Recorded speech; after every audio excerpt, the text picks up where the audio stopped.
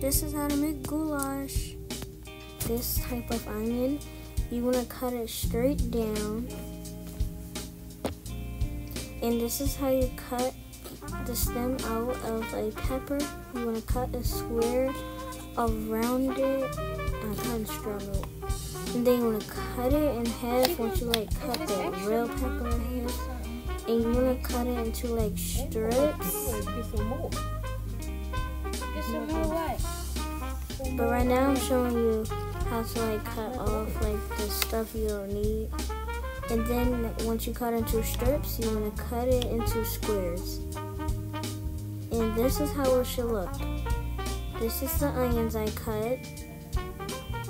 Um, don't mind this, I'm just showing you. But I'm putting them into the pan of the meat I'm making right now. This is how it's going so far. And this is the results.